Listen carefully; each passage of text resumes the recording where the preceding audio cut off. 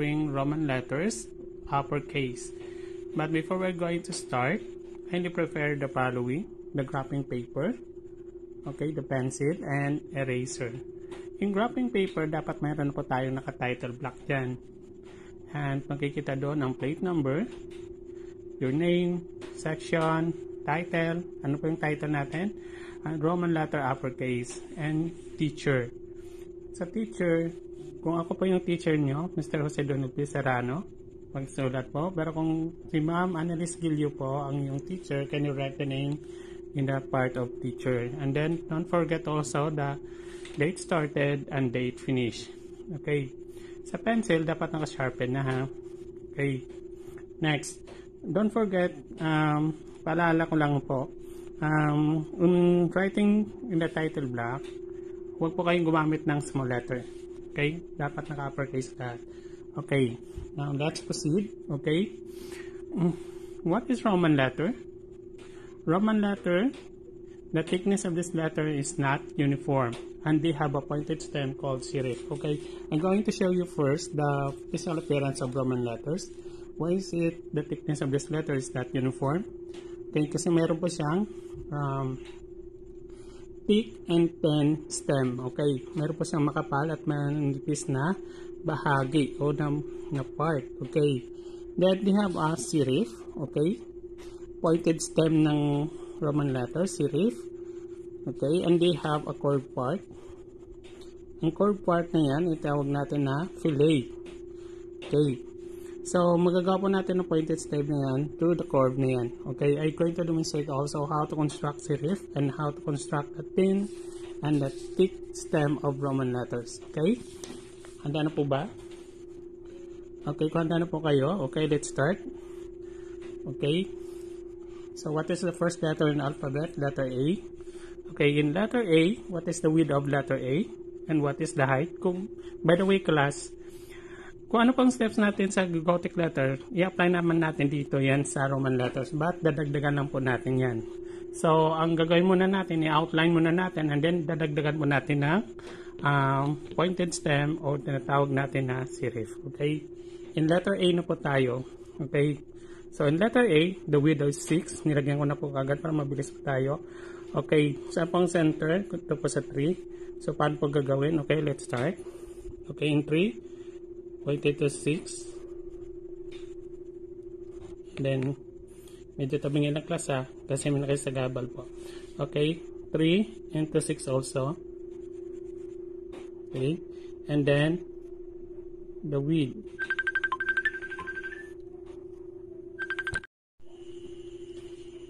next and letter B. Okay how many strokes ang letter B? Okay. 1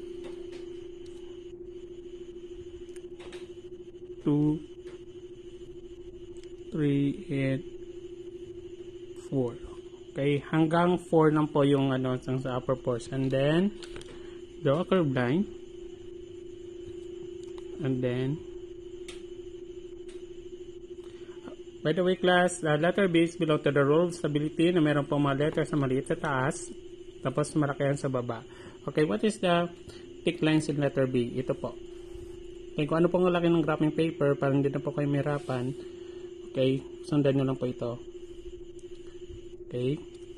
Next, the thin lines, mag-create po kayo ng point dito, at least 10 mm. Okay, ito po yung ano, laki ng graphing paper. Sundan po. Then, draw a curved line. Then, point po kayo dito, at least point 10. Point 10. 3, ito po yung sa laki ng graphing paper. Sundan po ninyo. And then, draw a curved line. Next. Maliit sa taas, no? Okay, saan naman tayo mag-create ng serif? Okay, dito pa sa part na ito. And then, extend at least pointed. Uh, 3 mm or 2 mm. Then, create, construct the fillet. Yung curve. Then, i-shade po natin. Okay, sa gilid po muna mag-umpisa. Ang purpose ng sa gilid class, para hindi po kumalat ang shading natin. Okay, kung ano po ang direction ng stem natin, sundan po natin to. Okay. Sir, ano pong purpose ng papel na nilagay mo sa baba? Ito po ang purpose nan para hindi po kasi nadaganan natin yung ano para hindi po dumumi. Okay. Gilid, gilid, and then shade. Okay. Pwede na i-outline nyo na muna class. Tapos balikan nyo na lang pa after shading. Ano po yung outline? Tulad nito, in-outline ko na muna. Okay.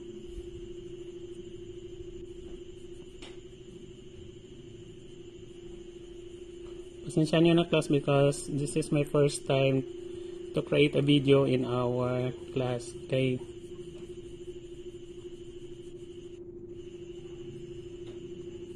Next. Letter C. Okay, letter C. What is the width of letter C? Okay. Okay, create a curved line from number 3 going to the waistline down and then going here until here there. Next. Ano po yung tick niya? Okay start ulit kayo sa 3 down sa 6 is to 3 point 10 sa kanyang width sa thin lines and then create a curved line pointed here and then until here. And next Okay, ito po. Okay, construct an inclined line here and then draw a curved line. Sir, saan ang serif dito? Okay, sa letter C po, wala po masyadong serif. Ito po ang pointed stem. Okay, balikan na lang natin yung mamaya class. Okay, gawan muna natin siya ng uh, layout muna. Or, sige, shade muna natin. Okay, gilid muna. Gilid.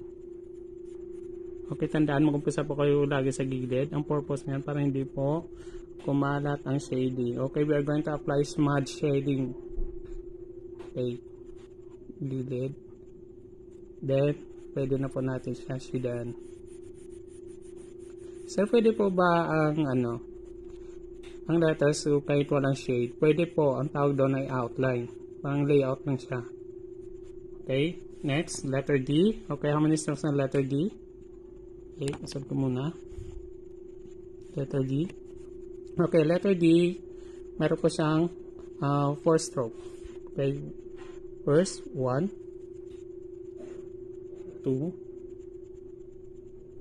three, and curve line. Kailangan, so pwede po ba ako sumobra sa line na yung serif? Okay, pwede po. Okay, pick lines. Then, point 10 point 10 and draw a curved line.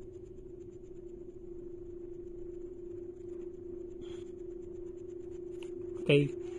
Then, extend at least point 10 dito. Dito po ang serif. Okay. Sa may left side lang. And, and then, fillet. And then, shade.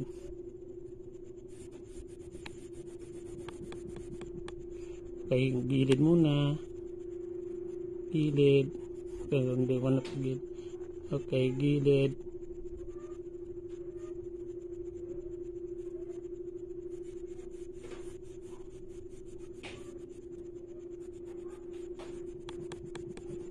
Okay. Okay. Okay, next letter mo natin, letter H. Okay, letter H is 3 stroke. Okay, tanggal ang class. Yan ako muna yung ano para makita po ninyo. Okay. 1 2 and 3 Okay, saan po dito ang tick lines? Okay, ang tick lines po niya, ito sa may 1. Okay, sundan po ninyo yan. Tapos ito sa number 5. Okay, then measure uh, 1 mm sa baba ng line. And then, construct horizontal line. And then, extend po tayo dito. Magawa ito po ng serif dito sa taas, both sides. Okay. 3 mm, 3 mm, 3 mm. Okay. Sa baba din po. Yan. Okay, and then draw si, uh, serif in curved line. Okay.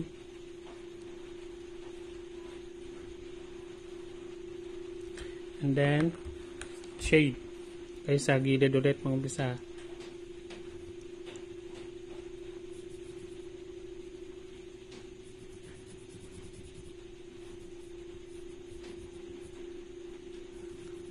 Pwede nyo ulitin yung task after ng ano, i-finishing po ninyo.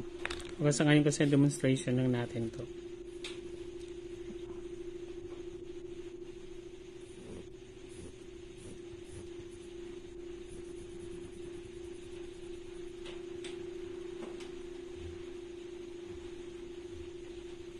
Okay, the next is letter I. Okay. Okay, letter I, one stroke only. Okay, the width of 1. Okay, ito po. 1, 2, then extend po tayo ng horizontal dito. Okay. So, baka mag-doubt kayo class ha. Ang extension di simula dito hanggang dito is 3 mm or 2 mm. Depende na po sa inyo yan. Simula dito hanggang dito, uh, 2 to 3 mm po yan. Then, curve line at tinatawag natin fillet. Yan. Then, shade.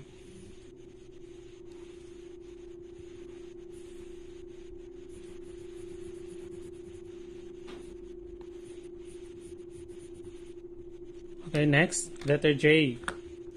How many stroke on letter J? Okay, 2. Okay, 1. Hanggang lang po sa may 6. And then curve line.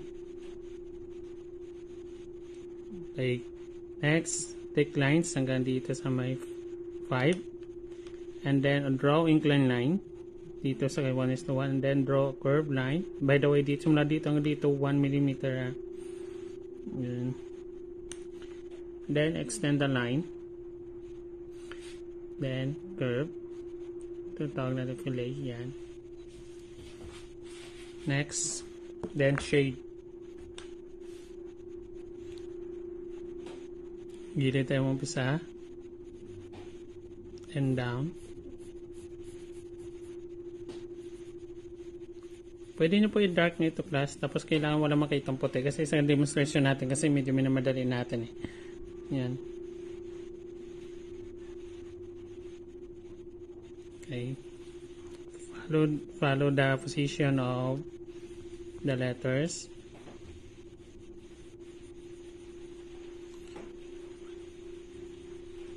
Okay, the next letter is letter K. How many is letter K? Okay, 3. Okay, 1.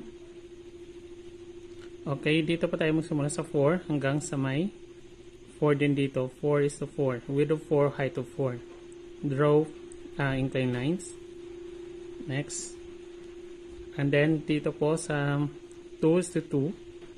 2, 2. And then, draw inclined lines hanggang 5. Yan. Next, thick lines. Extend line.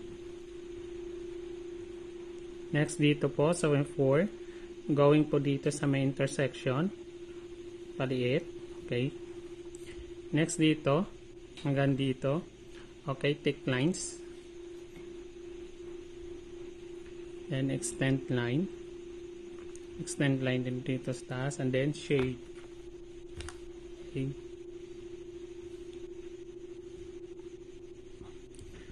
Ma-draw uh, ano pala, serif. Pointed stem. Si sir nagmamadali. Hindi naman. Okay, and then shade.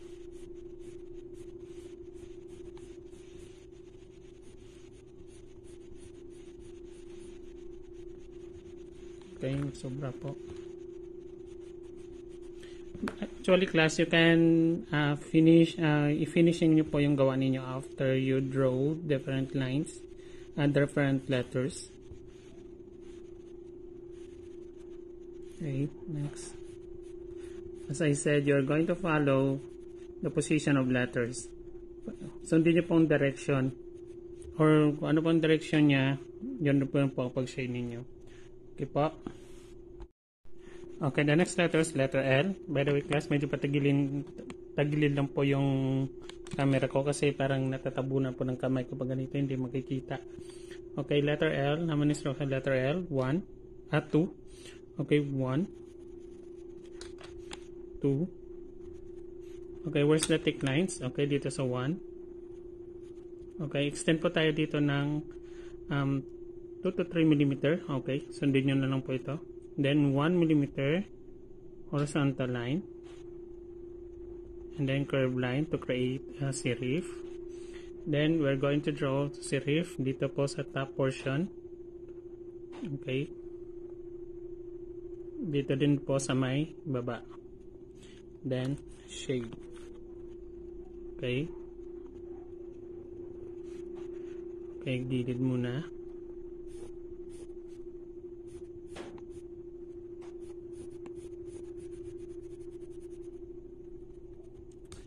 Okay.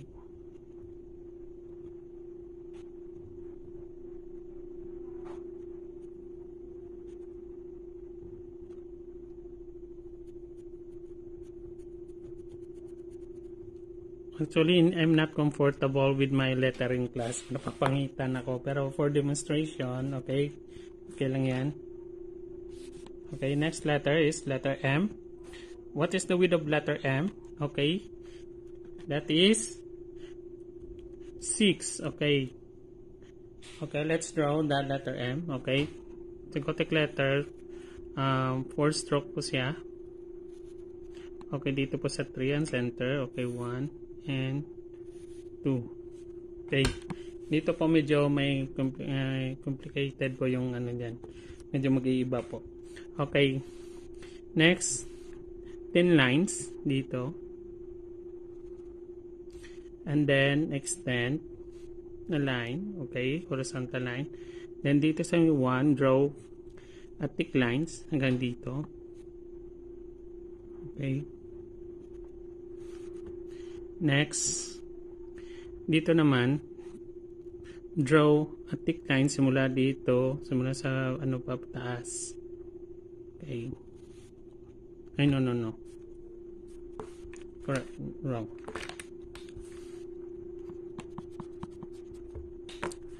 Next. Simula dito, draw a horizontal line. Yan. Then, thin lines. Okay then thick lines. So parang tabingi okay kung nga. Okay again. Mali ako ng unang ng strike ko ha okay dito muna tayo. 1 2 okay hanggang dito lang pala. Then strike inclined lines pointing dito sa number 6 next 10 lines going down yan. Kasi tick uh, tick 10 tick okay? And then tick lines. Then horizontal line side sa left side dito sa may right okay? Draw a serif and dito din sa baba. Dito sa baba. Yan. I-erase ko muna to to. Baka mako-confuse pa kayo. Then shade. Okay taas muna tayo. Legs and shade. Ito din po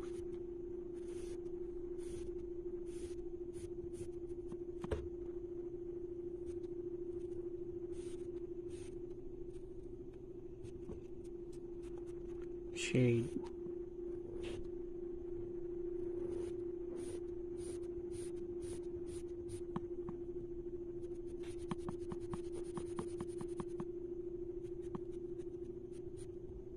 okay letter M okay letter N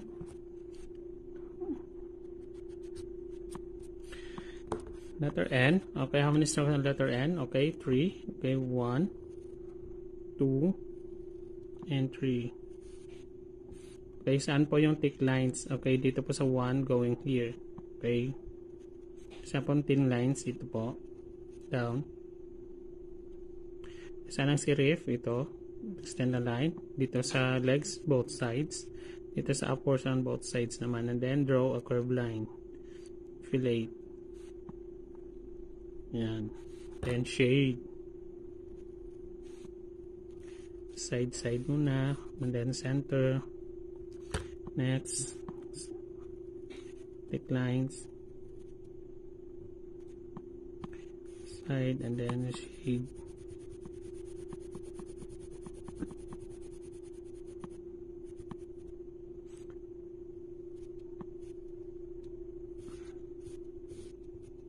Okay.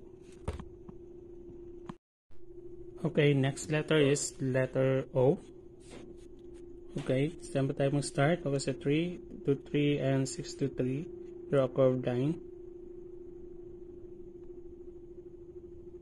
Okay, ganun din po. Sa kabila, draw a curved line. So, saan ang thick lines dito? Sa 3, 1 mm. Dito sa 3, 1 mm. And then dito sa may 5 to 6. Okay, draw a curved line. Connect lang po natin yan. Then, okay, tabingi. Okay. Erase ulit ito class kasi medyo ano. Okay, pasensya na, may nakaharang kasi. okay, next shade. Okay, side by side. Side tayo mag-umpisa. Ganun din pa sa kabila. Aba, sinundan na naman yung mali ko kanina. And then, a curved line.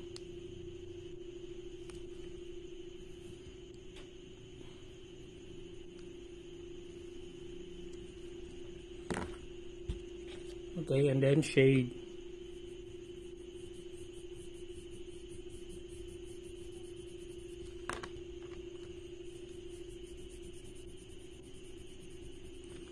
Then, kabila din po.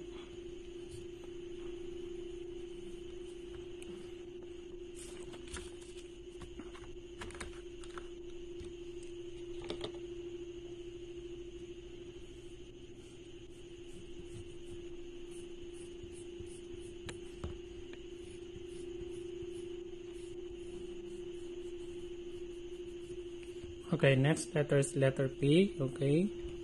What is the next letter? Okay, letter P. Then how many strokes are letter P? It's 5. Okay. Oh, with rather, the width of letter P is 5. How many stroke? Is 4. 1.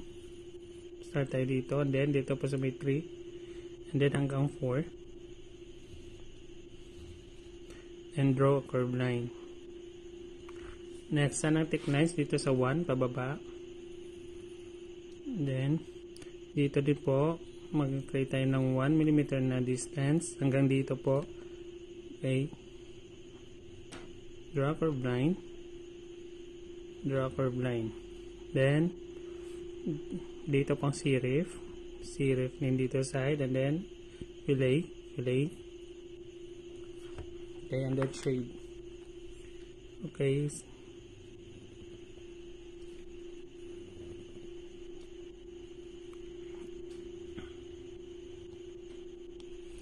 Nagalaw.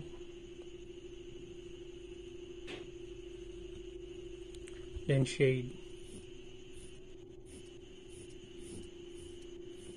Sa gilid mo and then sa center.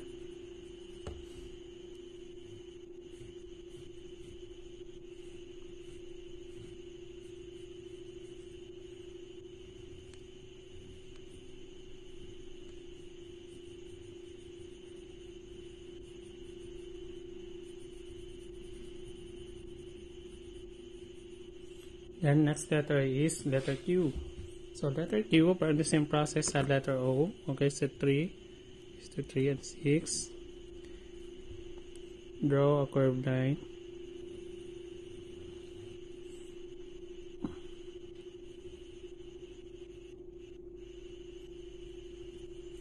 Then 1 millimeter, 1 millimeter, 3 and side. Draw a curved line. Draw a curved line. Saan tayo maglalagay ng ano? Ng, ng symbols ng Q? Okay, dito po. Actually, dapat mahaba yan eh. Okay. Next, shade. Okay, side muna. Okay, again. Sir, pwede ba namin i-layout muna bago namin shadean? Okay, pwede po. Okay, then, shade.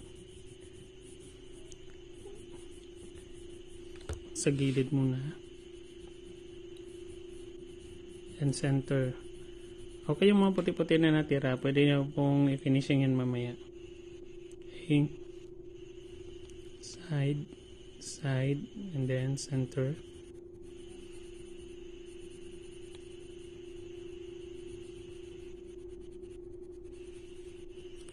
Hmm.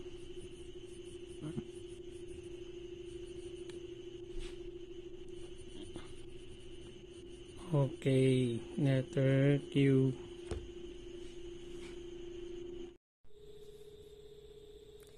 Okay, next letter is letter U. How many strokes is that letter U? Okay. Uh, one, two, three. Okay. Three, one. Hanggang number five. Two. And three. Okay, saan ang tick lines dito? Okay, dito sa one. Hanggang five lang po. Okay, and then five. Hanggang five lang po. Okay. Idikit po natin dito ng konti. Then, dito pong 1 mm and then draw a curved line. Saan ang serif? Okay, both top portion. Okay, draw horizontal line. Then, draw a fillet or curved line. Then, shade.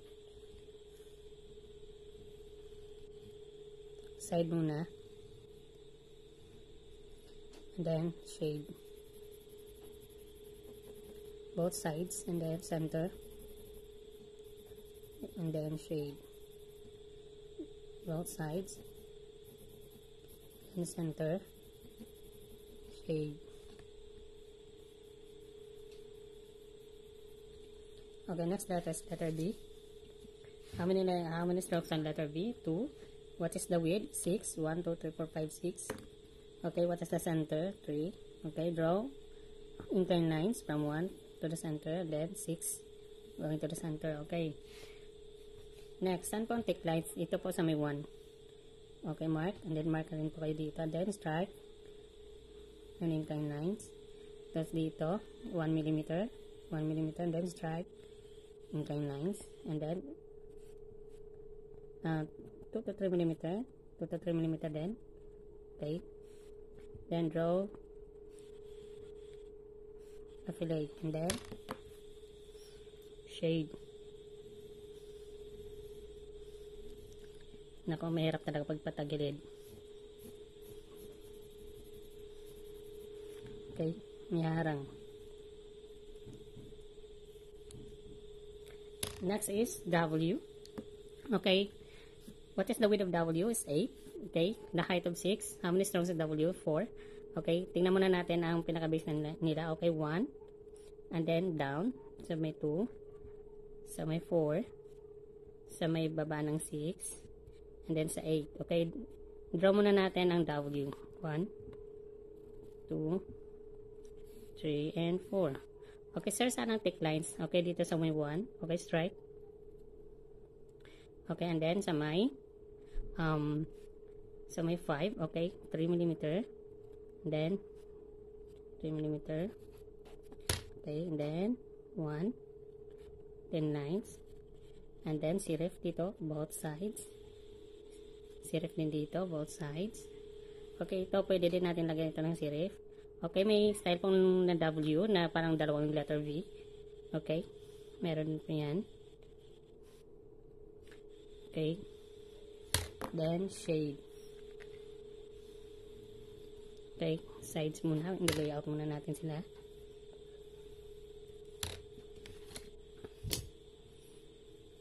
Okay. Then, shade.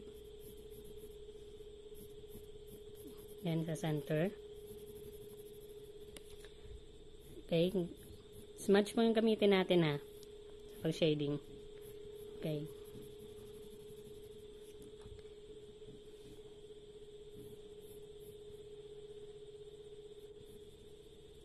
Yan. Next is X. Okay, X. What is the window? X, 6. Okay, how many strokes is the X? Okay, 2. Okay. Dito muna tayo sa may 5. And then, dito sa may baba ng 1, sa 2. And then, dito sa baba ng 3. And then, drawing na natin siya. I-letter pala. Okay. Next, where's the thick lines of letter X? Okay, dito po sa may left side. Dito sa may taas. Okay. Yan. Then, dito itong thin lines. Okay, both parts of both legs, the top portion and lower portion, meron pong serif. Okay.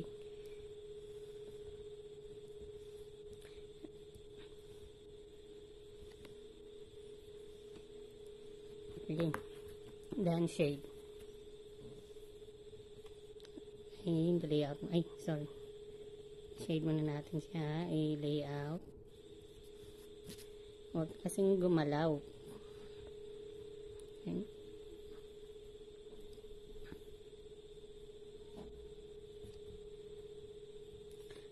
Shade. Side muna. Then center. Sorry class, medyo tabi nga ang letter X ko ha. Okay, next. Ito na po.